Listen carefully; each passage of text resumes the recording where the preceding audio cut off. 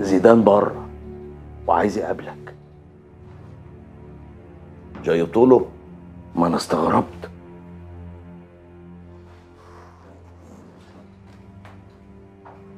خليه يدخل وما تدخلش حد علينا. حاضر.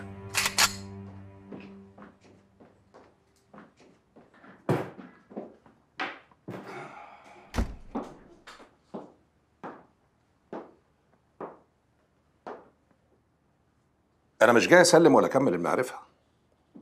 أنا جاي لك بنفسي لحد مكتبك عشان أقول لك إن أنت الوحيد اللي قدر يعكنني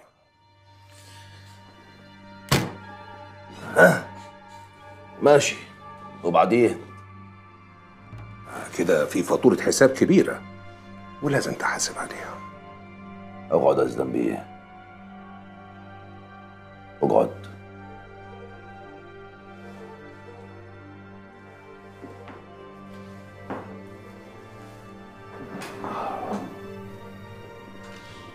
يا عم بالراحة علينا.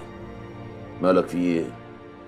الله وكيل لو ما كنت في مكتبي وقلت الكلام الخايب ده لكن ديتك معايا طلقة. متهور. باين عليك ما تعرفش زيدان كويس. الكبار يا شاطر ما ينفعش ترد عليهم كده. وديني كبرت آه وجيت لحد عندي. سمعني طلباتك يا زيدان. تبعد عني يا جابر وتسد الطريق اللي بيني وبينك. ولو لسه فيك من ريحة الصاعدة اللي انت منهم ما تقربش. انت اللي دوست على رجلي الأول واستغليت السجن اللي بعدني عن مرتي وخليتها تخلعني وتجوزتها. اللي بيني وبينك لا ندبه ولا مرضيه اللي بيني وبينك طار. أنا جيت لك لحد مكتبك عشان يبقى بيني وبينك عقد. ولو عايزني أنسى موضوع المزاد والدولارات اللي انت بلغت عنها تنساني تماما. وأنا كده كده هسيبك تدور شغلك في السوق. ومش هقفلها عليك. ولا تعرف تعمل حاجة. لا انت ولا دايرة معارفك كلها. واسمع انت مني بقى آخر بق في الجزازه مرتي وحقي مش هسيبهم. يبقى اللي حسبته لقيته. هتفضل طول عمرك شط سبوع وماله؟ يبقى رجعك السجن تاني بايديا لو جد كلامك وجهني راجل لراجل. طول ما أنت مغلول على أمرك ديتك معايا طلقة. يا تعجز يا تموت.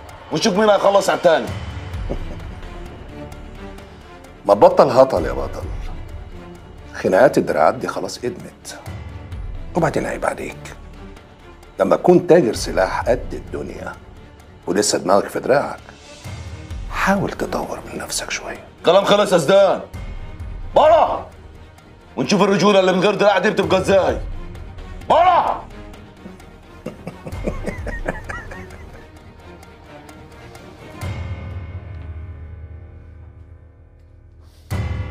متهور